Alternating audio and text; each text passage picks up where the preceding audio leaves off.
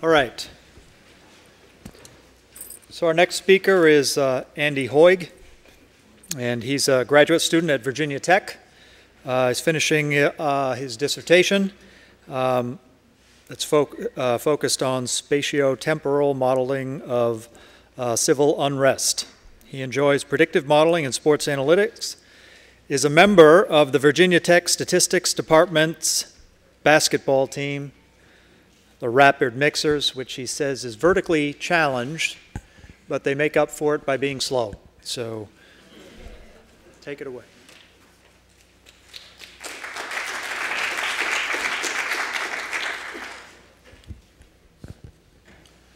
All right, well, uh, thank you for having me. Can you guys hear this coming through the mic okay? Great. Um, the, the, interesting thing about this slide, I think, is that we've actually managed to have uh, a longer list of authors than the title itself. So that's something that you don't see very often.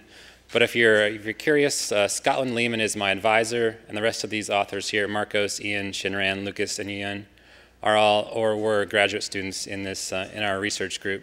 So we periodically will work on interesting problems, and this actually comes from the Kaggle competition predicting March Madness a couple years ago that um, Mark organized amongst other folks.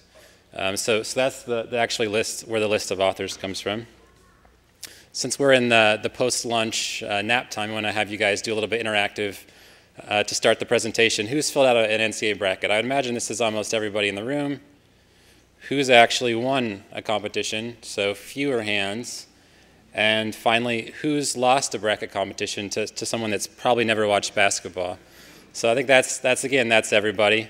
Uh, I can't guarantee that, that that won't happen to you again in the future, uh, but we're going to talk about some interesting things that we came up with to, to predict NCAA tournament competition. So a bit of an overview. I'm going to talk about some general strategies for NCAA tournament competitions, so both bracket competitions and this Kaggle competition, which I'll talk about in more detail soon.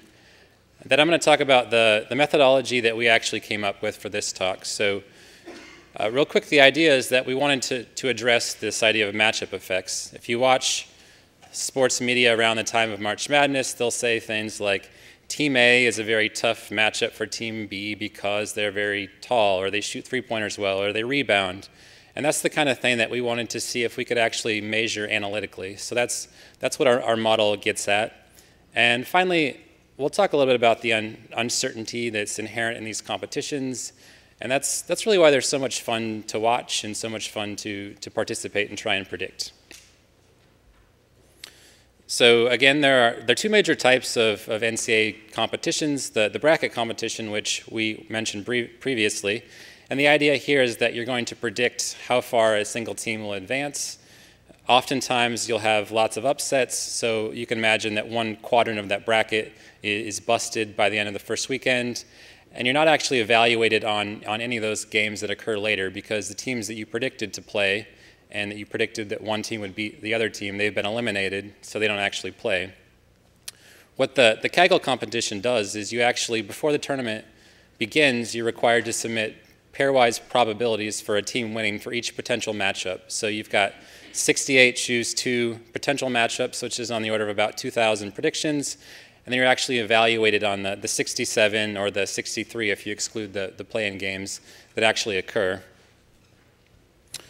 From a, from a modeling standpoint, we can think about a scoring function for these traditional brackets in terms of a loss function. And uh, the idea is that the, the typical scoring for these tournaments can be one of several formats. You might have a case where you get a point for each individual game that you win. Oftentimes, the, the later games are worth more points. So if you predict the actual overall champion, for instance, that might be worth 40 or 50 points, where first round games are only worth one or five or 10 or something like that. So you can imagine there's a corresponding loss function that, that's going to actually penalize you for incorrect predictions. And that might vary by round. So this last equation here, you have an R, so that corresponds to two different rounds being worth different points. The reason that I'm actually talking about this is, is to motivate how the, the Kaggle competition was actually scored. So here we have a, a loss function. If you look at it, it looks like it's the sum of the negative log of two Bernoulli probabilities. So that's the y log p and 1 minus y log 1 minus p. And what, what happens here, y is actually a, is a binomial outcome, so it's either a 1 or a 0. So you can imagine that, that y corresponds to team 1 winning. So one of those terms will actually cancel out. And what p is, p is the probability of that team winning the competition. As you look at this, this figure here on, on the other side of the, of the slide, you'll see that I've set it up so y equals 1. So this, this considers the case where team number 1 wins. And if your predicted probability of victory is close to 1, so if you're very certain that that team is going to win, and they actually do win, then your loss that's incurred is close to 0. However, if your loss, if your probability is close to zero, so if you're very certain that team is going to win and they do not, then you have a very large penalty, an exponential penalty. And this is actually a what's called a proper scoring rule. And what that means is that your, your, your optimal strategy is to produce the, the true probabilities. So if you had an oracle that told you that the true probabilities, that would be the, the, optimal strategy in terms of minimum expected loss in this case, or the, the risk. But that doesn't necessarily mean that maybe that's the optimal strategy or the, the optimal um, set of predictions for a single contest. You can imagine that there's only 67 games, so there's a lot of variability that um, even if you submit the true probabilities, you're not always going to win or you're not likely to win. Um, Michael, and amongst others, our, our last presenter actually has a paper on this um, about this very contest. And I think he was actually the winner too. So if you, uh, if you want to know how to win these contests, maybe that's the person to, to talk to after this. So the idea is, is how can we be how can we be smarter? How can we use analytics to predict basketball games in, in general?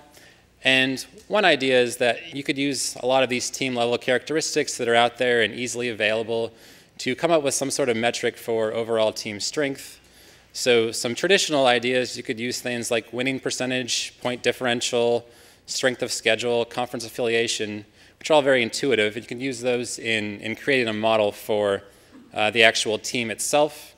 This is, uh, again, NCAA basketball, so we don't have a lot of the, the player tracker data and, and things of that sort. So typically you're going to be looking at team characteristics and, and summaries of games. Uh, you might think something like rebounding, for instance, is very important for uh, actually showing who's going to win a competition. Uh, one thing to be careful about is that you need to make sure these variables are, are going to account for things like tempo. So if you actually use total number of rebounds, that's going to be quite skewed. You could have a team like Iowa State that plays at a very fast pace and has lots of possessions.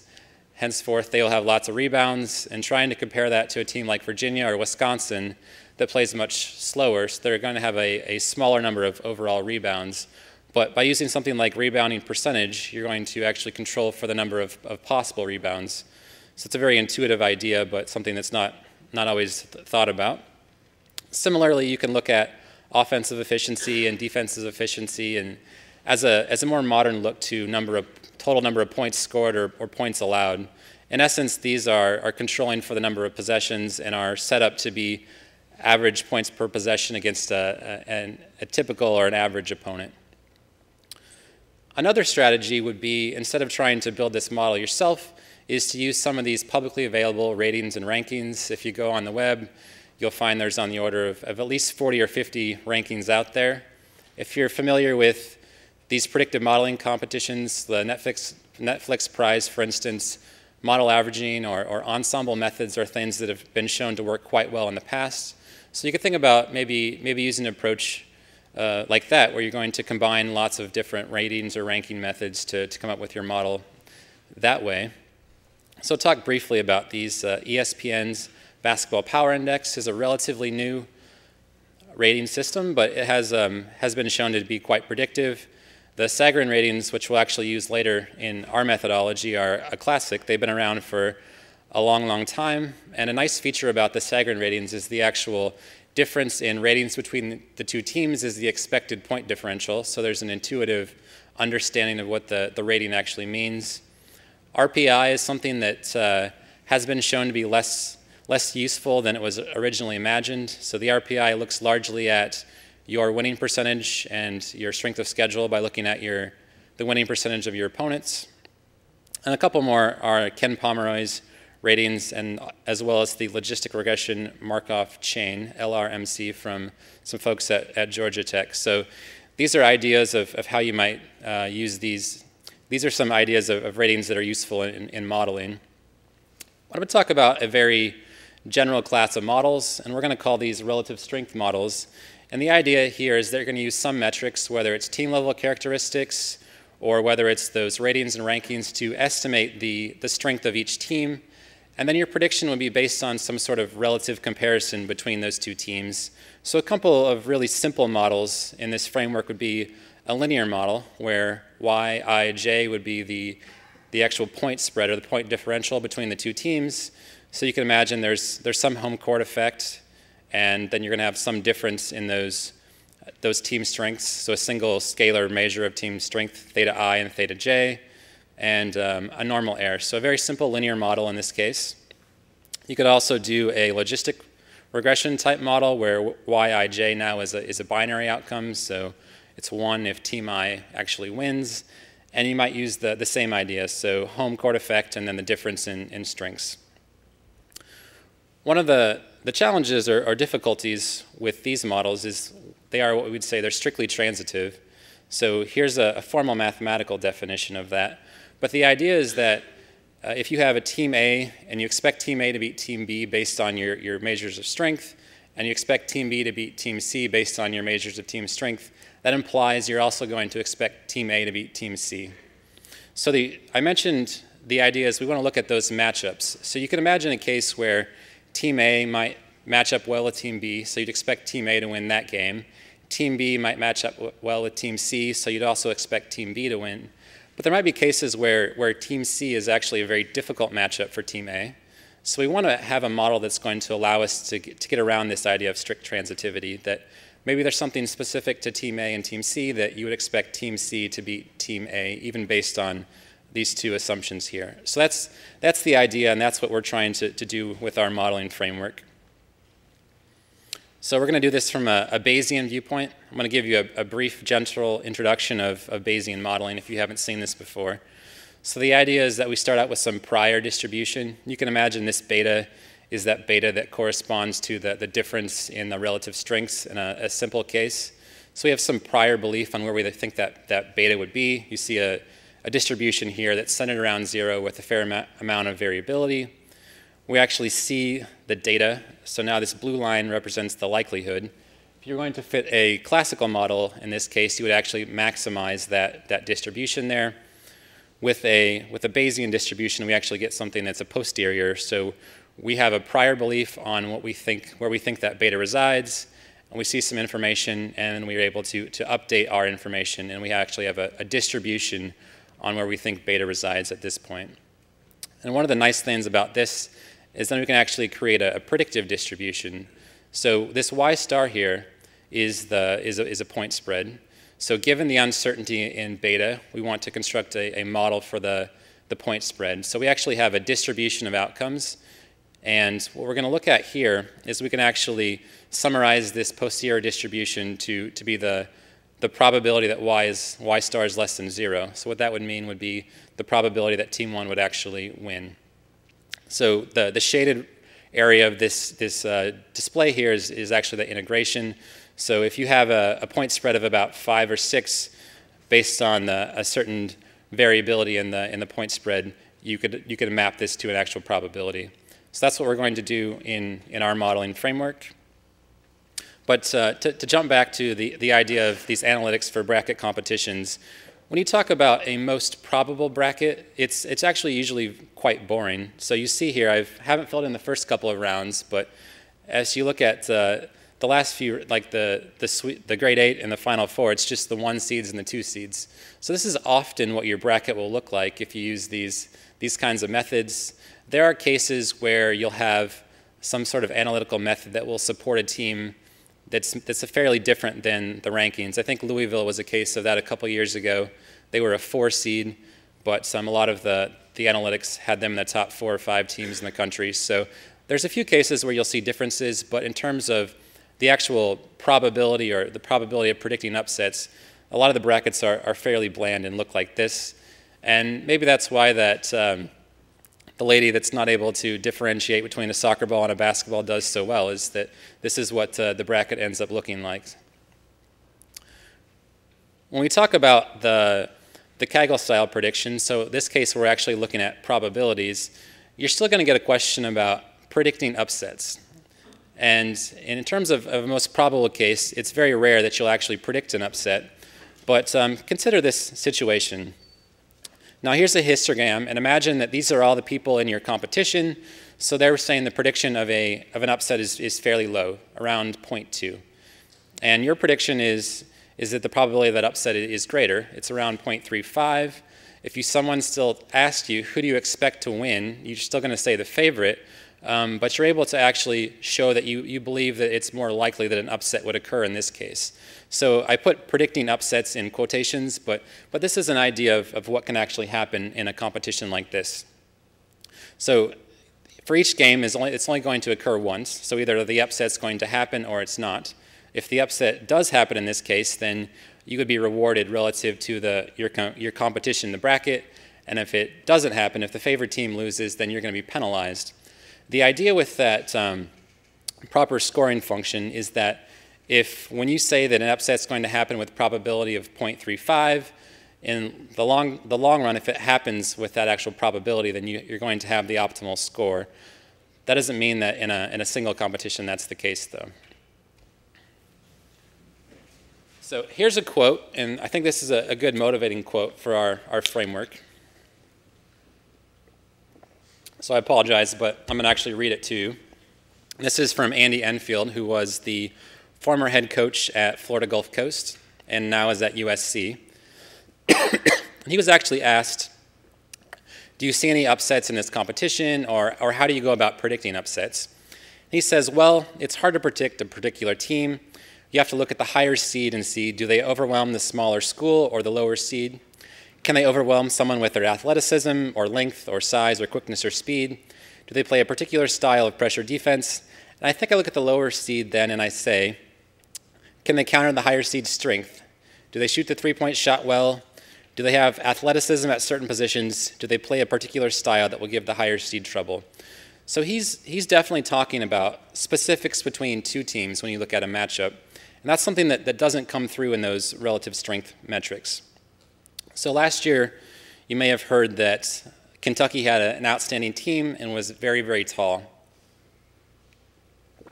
So it's likely that you would hear someone say that Kentucky is going to be a difficult matchup for any team because of their height. Well, that's part of it, but it's also because they're very good. So we need to be able to, to factorize or to, to account for the actual team quality when we're talking about these, these matchups. So for instance, a lot of people have mentioned the Golden State Warriors throughout the morning. They're not as tall as the, the Kentucky team was, but they're also very good. So if the idea of height is the, the factor that's going to cause the matchup difficulties, we need to be able to control for the, the actual quality of the team. so here's, here's a little bit of intuition about what we're trying to do. You can imagine that this represents games, so the way we're able to, to actually get at the quality of a team is based on their observations, so how they perform in the games. So each of these black dots represents some realization from each of these games that we're going to use to, to measure how well or how strong that team is. So a simple way you could, you could look at estimating that team's strength would be that horizontal line right there. So that's your estimate of, of this team's strength.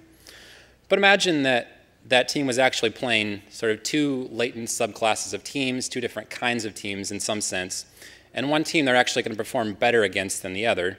So maybe in, in reality, you're going to see something like this. So the maroon line corresponds to the maroon dots. So maybe they perform better against those kinds of teams and perform worse against the orange teams that are the, the, the triangles there. That's the idea, is that we want to be able to, to get at this kind of effect if it exists. So the way that we're actually going to fit this model is that there's three real components.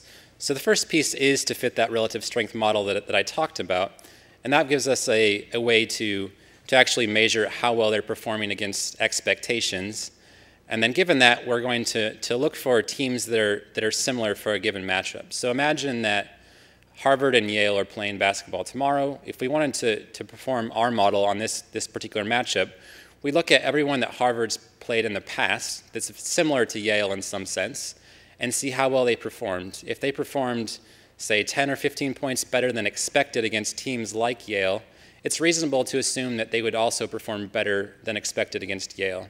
So that's, that's the idea with, uh, with our, our framework. So part two is how do we actually identify neighbors that are similar to a team like Yale, and calibrating the matchup adjustment is, is a way to estimate how much of that uh, improved performance actually is, is passed forward in the, the next phase. so this is the actual specific model that we use. We use the, the Sag Sagarin ratings and a home court effect for estimating them. Of course, the NCAA tournament itself is on neutral sites, so the home, home court effect drops out of the model. And you end up with a very simple linear model looking at the, the difference in, in the Sagarin ratings. And again, this model on its own has that strict transitivity property. And the, the next idea is, is how do we see, how do we know that teams are, are similar? So what we did is we grabbed a whole collection of team characteristics from Ken Pomeroy's website. And some of these are effective height. So this actually looks at the heights of your inside players with the idea that it's more valuable if your, your power forward and your centers are extremely tall relative to having an extremely tall point guard. Adjusted tempo is, is how fast, how many possessions you're playing with.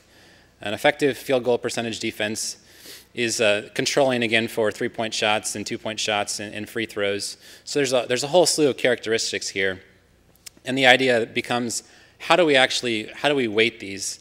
And this is where, if you remember that very long list of authors, some of these folks are doing research in visual analytics. So we, we use some of their methodology. So it's kind of hard to see the team names here, and I apologize for that, but this is actually a multidimensional scaling representation based on all of these characteristics. So the idea is that if two teams are very similar, are very close in this picture, then they're very similar. This is actually weighting all those variables I talked about equally.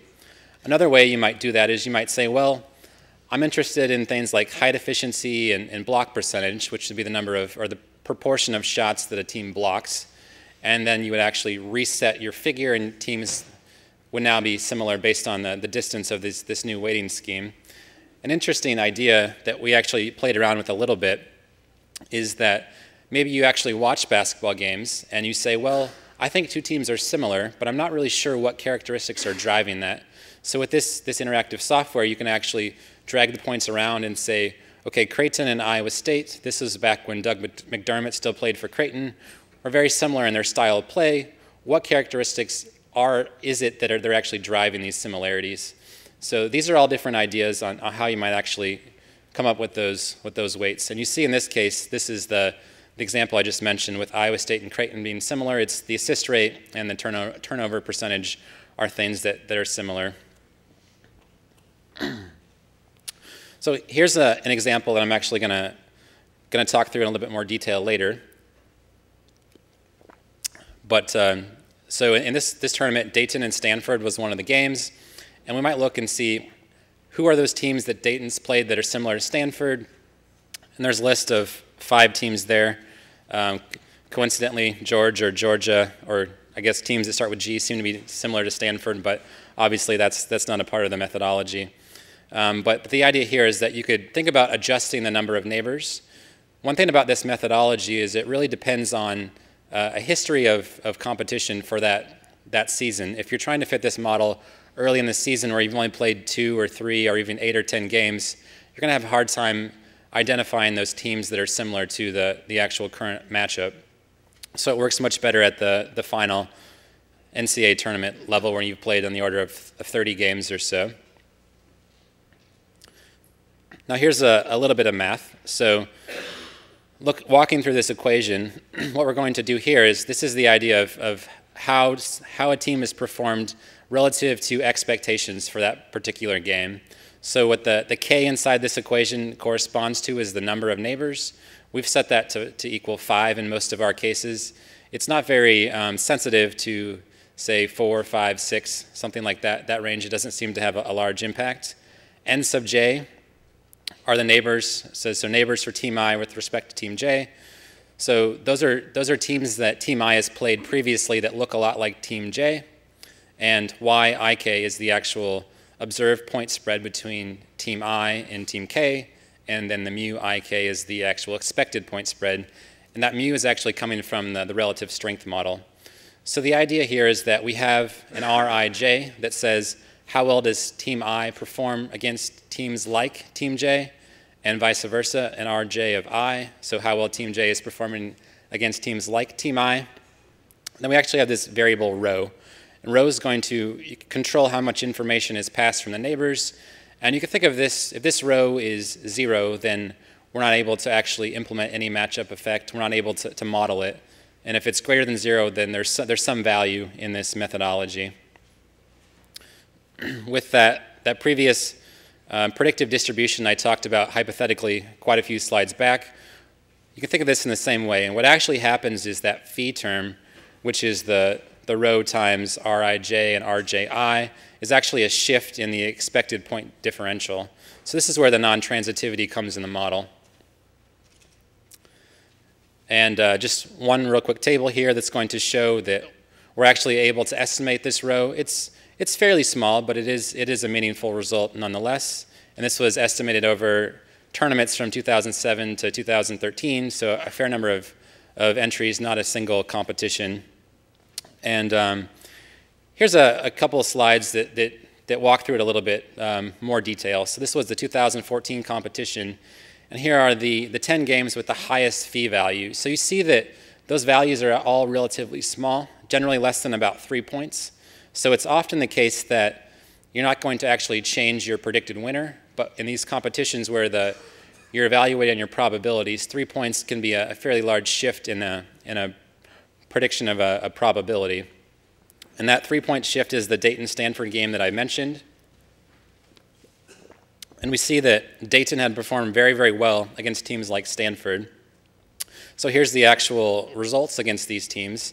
So they were performing about 15 points better than expected against teams like Stanford, and Stanford performed pretty close to the, the expected score against teams like Dayton. So what we get from this case is that we think Dayton's going to match up quite well with, with Stanford. And we actually see that in this n equals 1 observation case for this specific um, instance that it actually worked out well. Um, but um, again, those, that rho was estimated over the course of about six or seven NCAA tournaments. But um, this was the, the most interesting one to talk about. Some, some final ideas about competitions of this sort in general. It's, it's really hard to, to do an evaluation when you're, there's such a small number of data points. So even if you, like I said before, even if you know that the true probabilities and submit that, there's no guarantee that you're actually going to, to win or be in the money in this kind of competition. And I talked about the idea of a, of a proper scoring rule. One way to think about this specific competition is that the first two teams were giving, given large cash prizes, I think about $10,000 for the winning team and $5,000 for the second place team. And the third place team received uh, zero dollars. So, so maybe your loss function is actually something different than your actual score. Maybe it's some sort of expected return. And that might lead you to, to take a, a different strategy than, than an optimal strategy for minimizing your expected risk. And finally, if you're curious how our, our team has done in this competition, so the first year we were in about the top 25th percentile, and last year we were in about the top 10th percentile. So if you fit a, a linear trend there, we're going to finish in about negative 30th next year, which uh, should be pretty good. Um, so I'm going to go ahead and stop now, and I'll take any questions.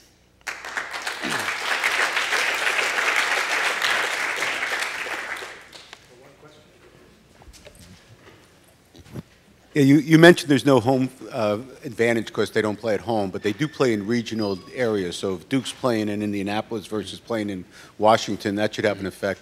The other thing is also about number of seniors versus freshmen, the Wisconsin, Kentucky mm -hmm. type of thing. Do you factor that in at all as well, experience? So the, the number of, of upperclassmen is an interesting factor. So we looked at that, and in a lot of cases you saw a negative relationship because of uh, a thing like Kentucky where they have all these fantastic underclassmen. Um, but we're not directly factoring that in. It's probably in included in the, that team strength measure in some sense. And um, I've looked at the idea of, yeah, Duke going to play in Charlotte's not exactly on the road, um, but I didn't include that in this particular work here.